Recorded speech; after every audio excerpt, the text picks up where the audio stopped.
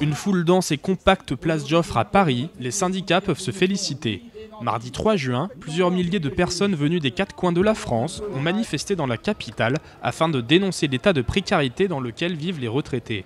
En France, un retraité vit en moyenne avec 1200 euros par mois, une somme loin d'être suffisante selon les syndicats. Avec 1200 euros par mois, on peut, on peut vivoter, c'est-à-dire on n'aura plus de vacances, on n'ira plus au restaurant, on n'ira plus au cinéma. Et ça, il faut un jour le dénoncer parce qu'on ne pourra plus se soigner non plus. Manuel Valls a annoncé le 16 avril qu'il n'y aura pas de revalorisation des retraites de base au 1er octobre. Face au mécontentement de certains députés socialistes, le Premier ministre est revenu en partie sur la mesure en la limitant aux seules retraites dont la pension globale est supérieure à 1200 euros par mois.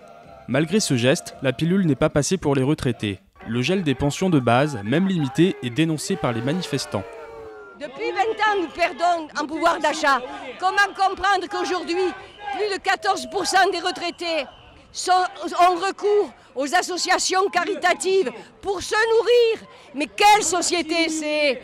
Quel pays peut avoir des retraités aussi malmenés? Un discours repris par tous les leaders syndicaux qui demandent au gouvernement de revoir sa copie. Aujourd'hui, les mesures annoncées visent à prendre l'argent toujours auprès des salariés et des retraités, gel des salaires et des pensions, diminution de la protection sociale. Or, avec cette politique, je crois que nous allons dans le mur.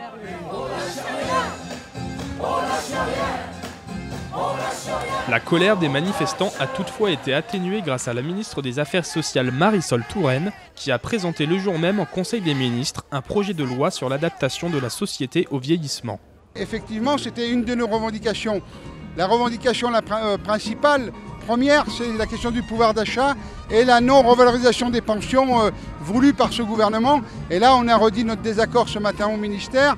Et c'est vrai que les réponses apportées ne sont pas de nature à nous rassurer et certainement de continuer d'ailleurs la mobilisation, peut-être sous d'autres formes dans les semaines et les mois qui vont venir, parce que là, on n'a pas été du tout entendu euh, par le ministère et le gouvernement. Les syndicats et associations de retraités le promettent, ils ne s'arrêteront pas là.